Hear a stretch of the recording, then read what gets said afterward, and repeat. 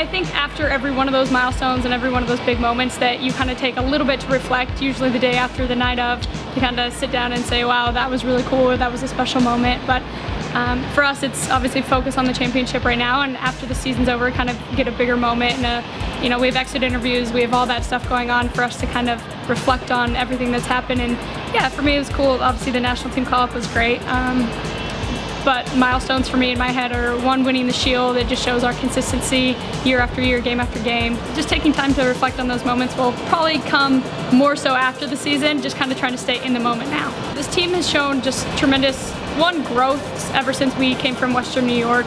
You know, we didn't have a ton of players on the national team.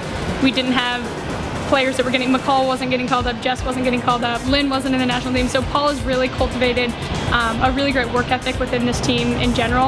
Um, and then just skill he has implemented into every single training session that makes you think um, I'm continuing to grow every single day in my career and I'm 27 years old.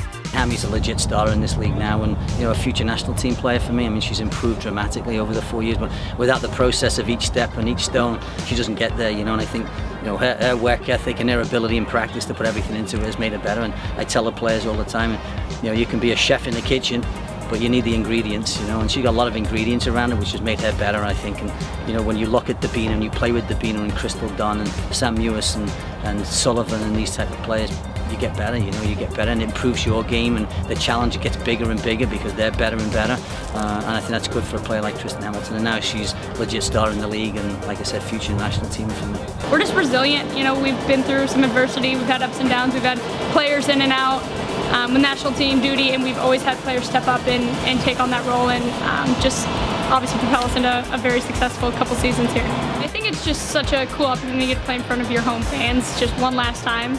Um, we've had great fans that have stuck with us through the whole season, and this is North Carolina in general is kind of known as a hotbed for women's soccer with all the great college talent that's around here as well. So it should be a great crowd, should be a good turnout, but it's always so nice to have fans behind you. You always hear the chants in the stands. Um, feeling that energy is just something that can kind of fuel us and that we can feed off of as the game goes on and as it gets later in, in the minutes into the halves that um, it's something that will give us energy and just kind of help lift us through those final 90 minutes.